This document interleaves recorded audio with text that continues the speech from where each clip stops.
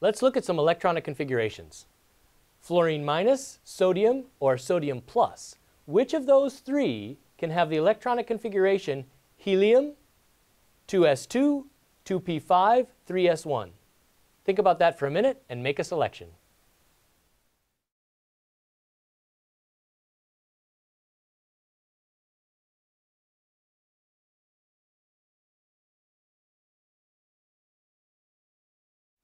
Let's look at possible arguments for each of the answers. A, fluorine minus has 10 electrons, so it could have this electronic configuration. Or B, electronic configurations aren't unique, so any of those species could have that electronic configuration. Or C, sodium plus has 10 electrons, so it can have this electronic configuration. Think about those possible answers and make another selection.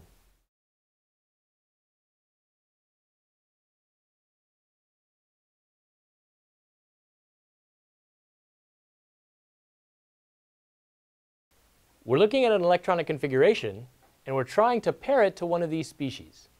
So sodium has 11 electrons in its neutral state. 1s2, 2s2, 2p6, 3s1 is its ground state.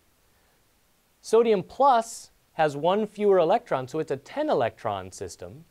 And if it's in the 1s2, 2s2, 2p5, 3s1 state, that's a slightly excited state. An electron's been promoted from 2s or 2p to 3s. Fluorine minus, same situation.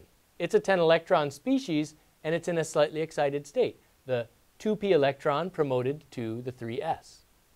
So what we have are two 10 electron species. Every 10 electron species that's slightly excited, that is, has a 3s1 electron, will have this electronic configuration.